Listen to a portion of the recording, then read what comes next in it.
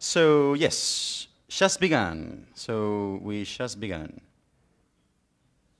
Okay? I'm extremely surprised of the amount of people. I mean, it's not only the weather, it's the title. Uh, this talk uh, was for Debian Day, and I was extremely surprised for the amount of people there too. But this is going to be the advanced version because, come on, you are Debian developers, so yeah. so just to know, how many of you know something about capabilities? Uh -huh. And of, from that amount, how many of you, it's only a rough idea, but not the details? That's great. That talk is for you. Aha, uh -huh, okay, so there is somebody who has no idea about capabilities. Okay, great, great. Awesome. So let's, let's try to, to go there. So you know the problem that we have in Unix systems. So otherwise, you are root, you are God, you are full power, or you are a simple user without any power at all. So this is the typical root, non-root problem. So Linux capability wants to tackle this, this kind of issues. Um, we have some solutions for, for, for that. One is, one is the bit suite. Uh, how you pronounce that in English? I said suite. You said? SUID. Okay, SUID. And the other one is sudo. Um, so I hope that, that many of you are familiar with those concepts. So now we are, we are talking about capabilities. So this, these two approaches are a way to give a full power to a task, to a process, to a user, but only for a temporal moment, for, for some, some kind of limited scope. But we, we would like to, to, to to be more precise than that. So let's go to the example of ping. So, so many of you probably know that ping is with the bit SUID. Yes?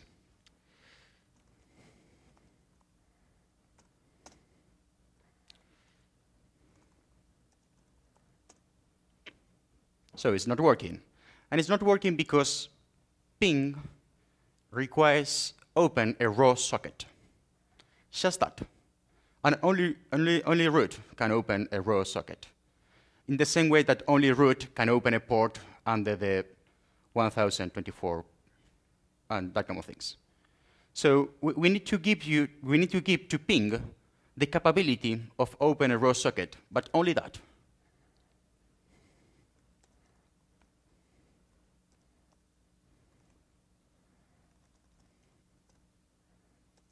I think it's this capability. Let me check here.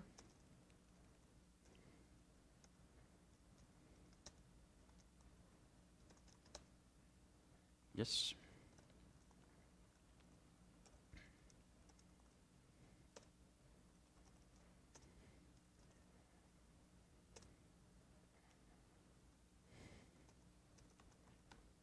See, so this version of ping, which is the same one, but without the bit suite, the bit SUID, um, can make the task without this bit because has, has the capability of open this raw port. So this is the classical basic example.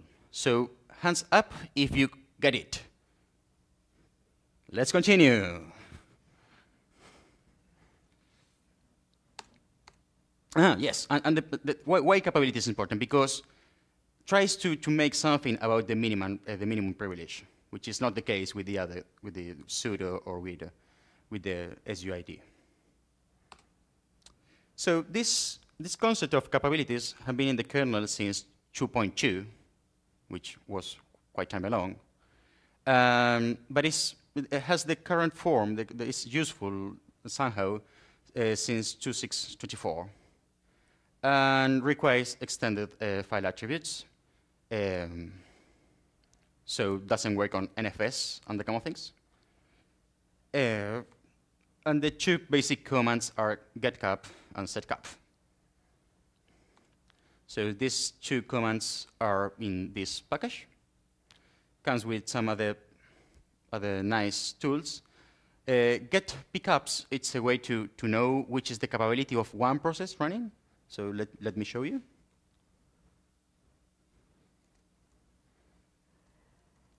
So let's run ping here.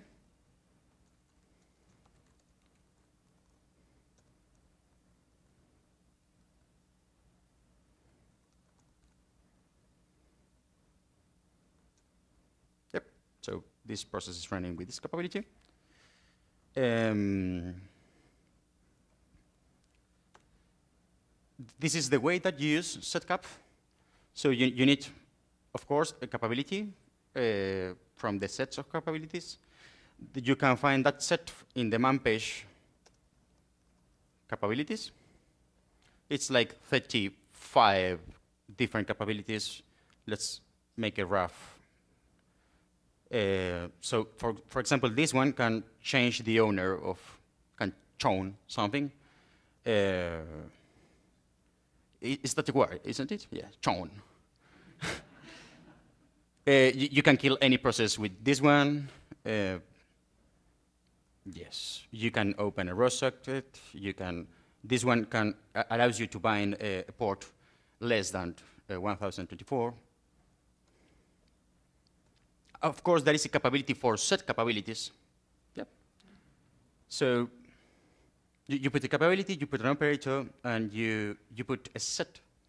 Uh, this that set uh, it works like yeah, uh, I think it's the next slide. So let's, let's, let's work on that after that. And of course, the file. And there's other package, libcap ng utils, which include other tools. Uh, netcap lists the capabilities of the daemons running in ports. Filecap, it's for files. And pscaps is an extended version of getpcaps. So this is the example just for documentation. Uh -huh. So this looks like a way to avoid bit SUID. Uh, we have many of those. We have a list of those, indeed. Uh, the list is collected by the security group, uh, Debian security data, yes, suite. Yep, it's an extremely huge list. It's extremely outdated. Um, and let me check how many of those refers to root. Yes, like 300 of those are SUID of root. Yes, in Lenny, because this is based on Lenny. That's a bit, a bit, just a bit old. So the, the, the thing here is only for, for, for SUID for, for root. Otherwise, we don't need these kind of things. We don't need capabilities because we are not running with any capabilities. So for example, uh, Unix CH uh, PWBD used to run with bit SUID, but not anymore, so that, that's fixed somehow. And a funny other thing is that could be useful for other tools. Um, so let me show you Wireshark. So you're familiar with Wireshark. I love this program, and it's useful for sniff, the network. Uh, but if you're running as a simple user, you can't sniff in any, any interface. If you run Wireshark as root, you can. So that's right. But you have a, a, a warning saying, please don't run this program as root. So it's, yeah, you know, it's not that useful if you can't run Wireshark as root. So a, a way to fix this is with this command. So I, am extending this, this binary, dumpcap, which is the process in charge of doing the actual sniffing, with the capability of sniff. Um, And in this case, I can sniff as a simple user uh, without all the problems that I, I, can have. I mean, Wireshark needs to parse a lot of things, and that's the typical buffer overflow problem. So I, I, um, I, can, I can be safe somehow if, uh, if I run in this way instead of root. So probably you are all agree if, said, if I said that this is a better way to run Wireshark instead of root. Um, so uh, the same case for TCP dump, which is, of course, another sniffer. We, we, can, we can run um, these capabilities for NTP date, uh, but somebody says me that this program, uh, um, um, okay, never mind, yeah. So uh, as you can see, we, we, can run all, all these programs with these capabilities, for example, this module, which allows you to to load the module to the kernel uh, for that binary. Um, and in that case, something nice happens. Uh, for example, in the case of the ping, if I, if I run the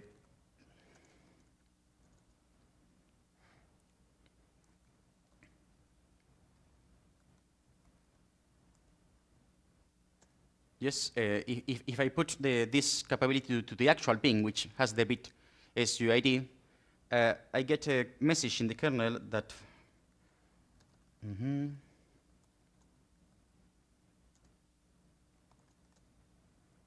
I get this message in the kernel. So the kernel noticed that this, this program has the ability to run with all the capabilities and only with this capability and select with the minimum privilege. So it's, it's great. So in the same way, you can, you can run these, uh, these binaries with the capability and won't run as root with all the capabilities.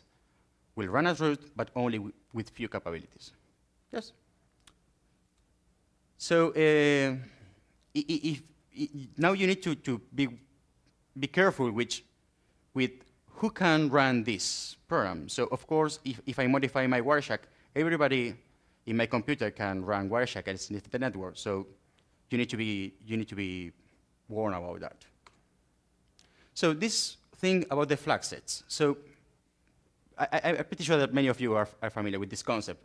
But in the permanent set, you, you have the, the capability that is in your toolbox. And in the effective set, it's the capability that you have in your hand. So you can, you can drop a capability from your hand to the toolbox. If you drop the capability from the toolbox, you can't access that capability anymore. And if you uh, drop from your hand, you can uh, get it again from your toolbox. So it's a way to drop intermediate things and you, a way to disable temporary capabilities. In the case of the, the last one, it's a, it's a way, it's a, yeah, I mean, yeah, it's, it's, uh, the, the, it's the amount of capability that you allow to, for the sec uh, syscall. The fork is not included here because the fork is a copy of the memory, so the fork gonna get the same amount of capabilities that the father. So there is another lovely um, package called libpamcap, which is a capability module for, for PAM. This is the way to use it. In this scenario, I would like to, to give a user, call it semi-root, the capability of remove any file in my system without check the, the, the, the, the permissions. Uh, so I, I, need to, to give that capability to the user. That's going to put the, that capability in the P, uh, in the toolbox. And in this case, for example, it's not in the toolbox. Otherwise, anybody can run any, uh, RAM, with any, without any check. This capability disable the DAC check. So I should be careful not to put a P here. So when RM met semi-root, uh, all the capabilities are there, and then semi-root can remove any file in the system. Yes, uh, and only works for RM, of course, not for unlink or the kind of things. Uh -huh, uh, I have a demo of this, but let me show you something. I close it? Yes, okay, so it's not working now because it's a release critical bug, so please close it. um, so let's talk a bit about process capability. So there, that is a way to, to, to these capabilities. Um, I, I made a wonderful example in C, which is extremely long. So I, I made the same version in Python, which is seven lines. So I will show you the seven lines version. It's a web server, which runs in the 80 port. Uh, let me show you. So this uh, libcap ng has binding for Python. So that's why.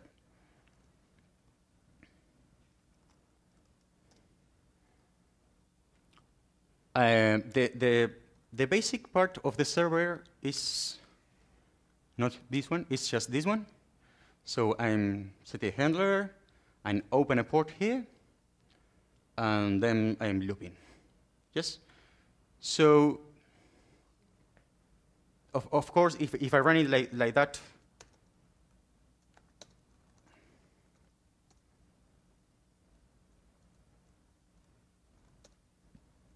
everything goes nice, but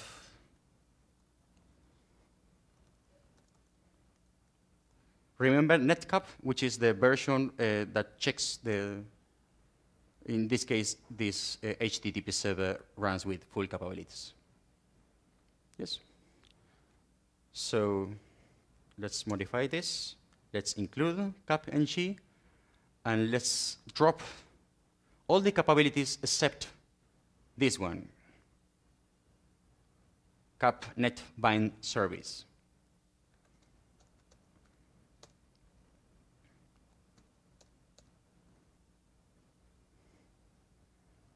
So is somebody exploit this process? Uh, the, the, the only capability that they have is oh, just bind a port under, under the 1024. So that's right. Of course, there is some drawbacks. So maybe the question here should be why we don't support this more out of the box. Uh, and probably the answer is because the normal tools doesn't support X attributes, extended attributes like move, cp, char, especially this stat override. I have no idea what stat for, but yeah, that doesn't support X uh, attribute. Um, somehow it's a bit eh, something a bit not too explored. So that's great that you are here because now you can explore more about this. The, uh, yesterday or the day before, Luke asked me how to include capabilities in his packages, so that's great.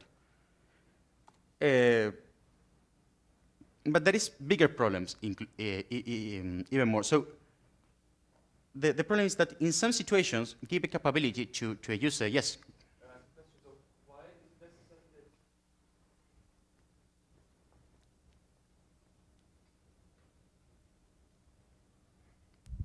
Okay, so I don't un understand why is it necessary that tools support this kind of capabilities because this is managed by the kernel, right? Uh, yes, uh, but the file, the, the file capability are supported by the file system. And for example, each time that I uh, upgrade my Wireshark, I need to set the capability again because I lose the inode. So. Okay, so it would not it would not be a security hole. It would just be losing the, the possibility to use the tool with the needed capabilities. Yes. Okay. Yes. Yes. It's, it's somehow inconvenient. Mm -hmm. And we are an operating system, so we, we want to be convenient. so in, in, some scenarios, some capabilities can be uh, root equivalent, especially in, scenarios where the arbitrary code execution is it's possible. For example, if you have the capability to, to override uh, DAC, if you, if you ignore the DAC checks uh, of course, you can check the, you can change the etc password and get root easily. And if you have the possibility to change the permission of a file, you can change the, the, the owner of etc password and get access easily. And the same applies to uh, shadow. In this case, for example, you can only read, but you can make a rainbow attack or something, and you get root easily. And many, many, many, many, many other examples. Uh, this one is fancy. So in this case, if you have kill and bind service, you can just change a service and steal credentials, for example. That's a nice one. So you, you can imagine all a lot of weird scenarios where one capability gives you root access. So uh, even if you don't have any capability, the fact that you're running with root, it's, uh, it can, can allows you to, to, to, to do something. For example, if you only have root, you can write on the cron hourly uh, your script, and eventually cron runs with root with the, all the capabilities, and the, the binary will be executed. Did you get that last example? Yes, probably yes. So that is, that is a even worse scenario where include capability can open new holes.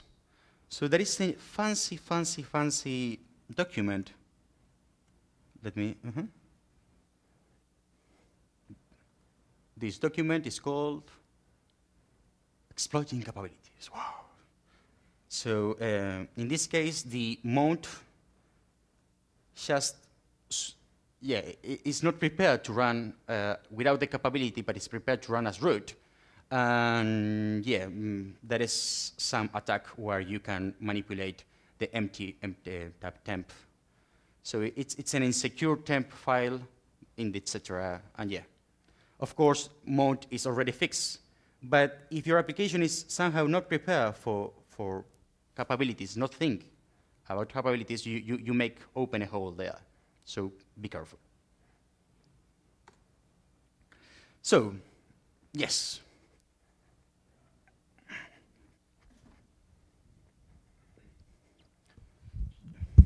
I think something that may illustrate this uh, uh, medicine worse than the cure is that we, well, uh, we uh, as developers, we should all know to fear SUID binaries.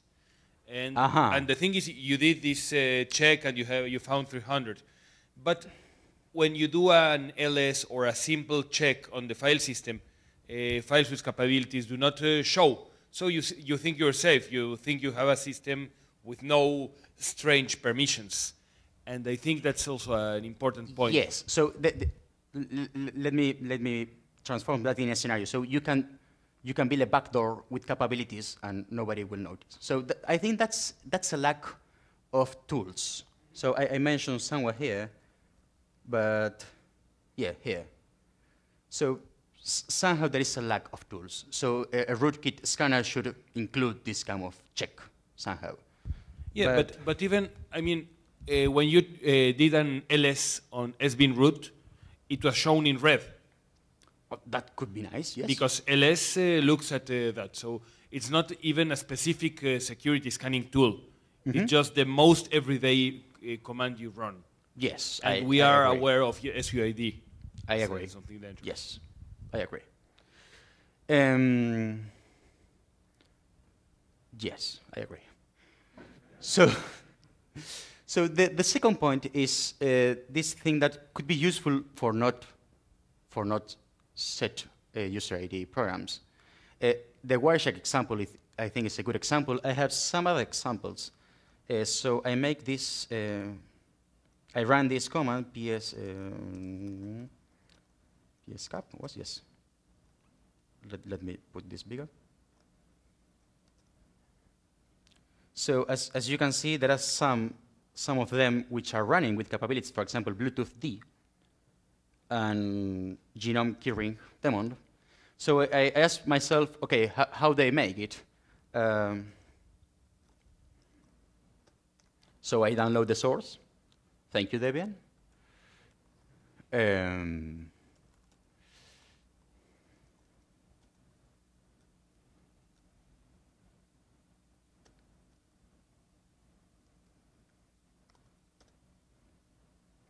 yes, in the post-installed uh, I'm not sure if it's clear enough to read it. I can. It's better? No, it's not better. it is better. Okay. um, so this this guy just ran setcap after he installed the thing. Pro probably it's not the most elegant way. We we have tools to set permissions. Maybe we should extend those tools in order to support this. Uh, if, if, something funny, maybe, Fedora 15 uh, released without any bit SUID, and that was like two years ago, one year ago. So somehow they afraid those bits. I don't know. I, I think it's a common feeling afraid these bits.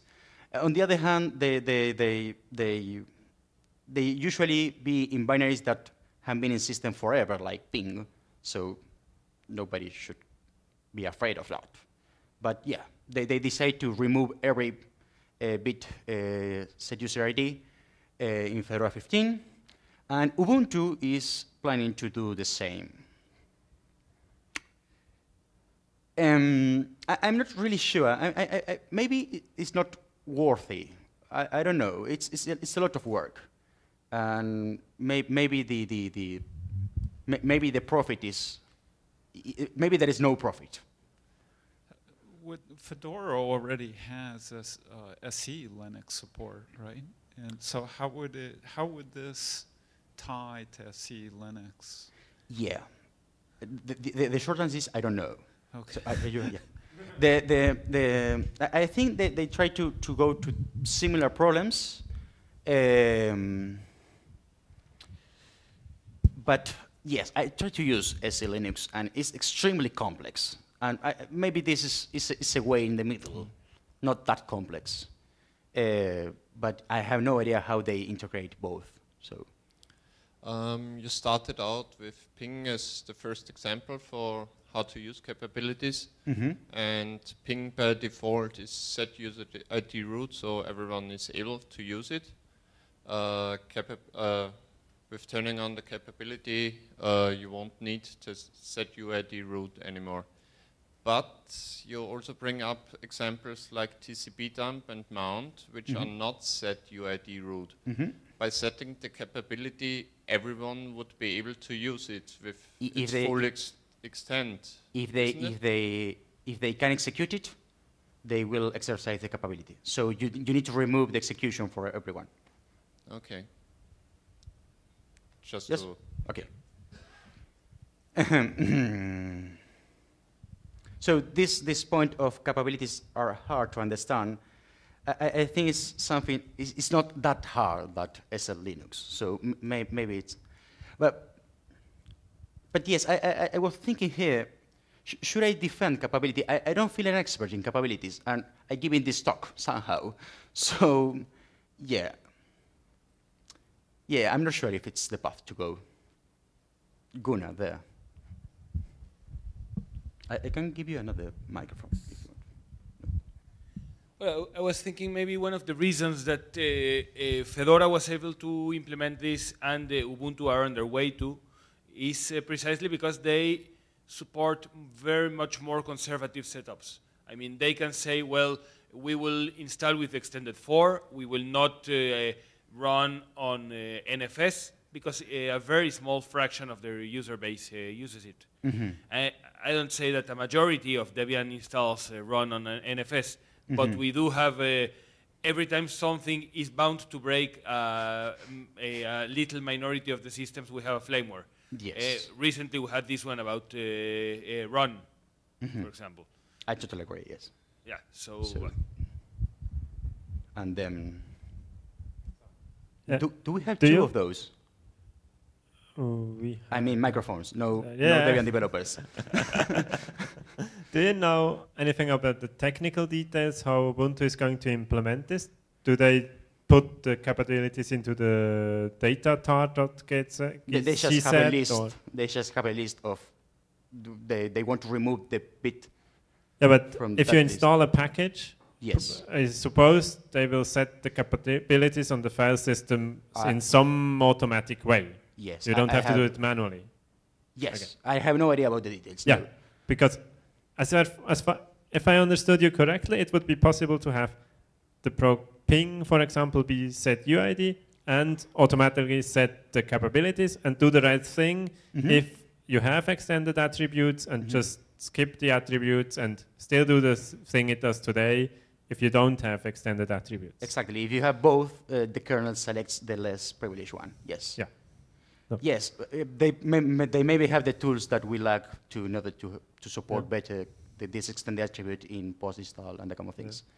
And Uh, you you just- can check it in that Just way. as a remark, I think it's, uh, in my opinion, it sounds quite worthwhile because it's a security improvement and it's kind of an easier one than all the other alternatives like running a full SE Linux system Mhm. or AppArmor. But on the other hand, uh, what scares me a bit is that capabilities seem to be a lot of a mess. Uh, I mean, you showed it. There are silly capabilities that are root equivalent, Mhm. and there was, uh, think, a few months ago, a LWN article about this Mhm. too. They're discussing this mess. Mhm. So I think maybe we should also wait if the mess gets cleaned up first. Uh-huh. Yes, but but but meanwhile, I, I, I suggest that that have better tools for that. Uh, uh, yes. Okay. And yes, uh, you are not so there. Could- you use it in the context of, say, like a daemon, where you want to prevent it from writing to temp, as an example? So any program can write to temp now. Yes. Can you reduce the, its privilege? You know, a normal privilege that any process would have. Can you eliminate No, that? no. We are talking about root capabilities. Just root capabilities. Okay. Yes, this is this is 35 things that root can do, and we somehow we split it, and we can give those. Yes.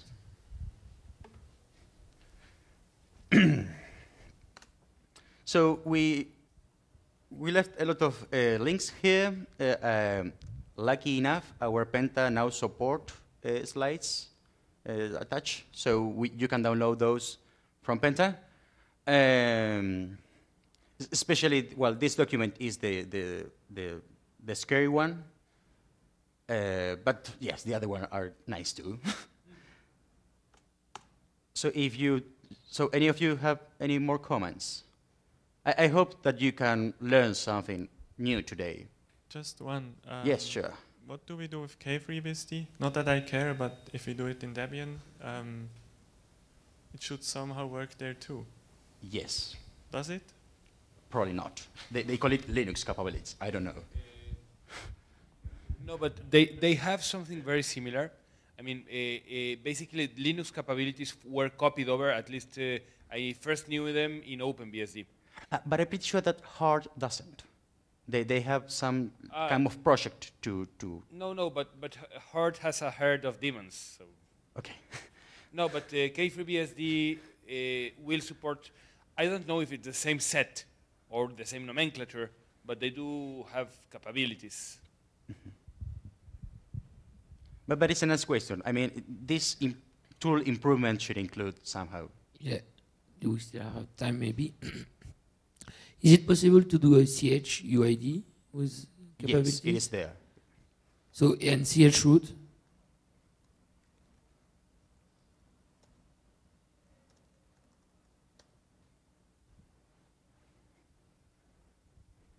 Thank you.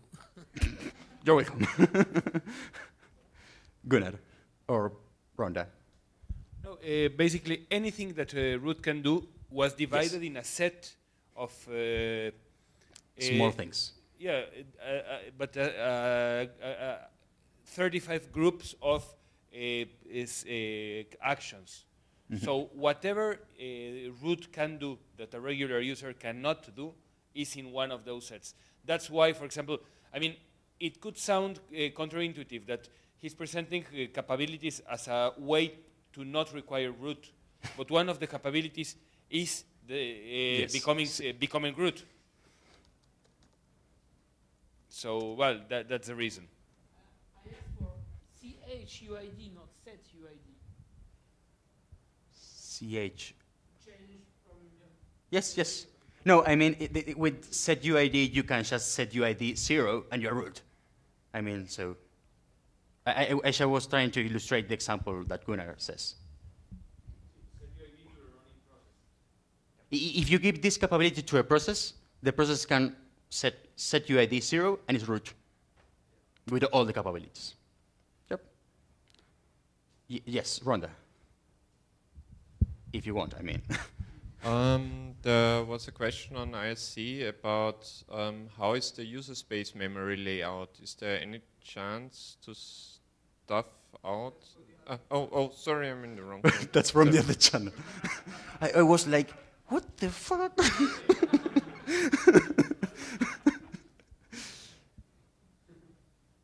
Uh, any other comment? So again, I, I hope that you, you could learn something new today. Uh, and okay, thank you for your time.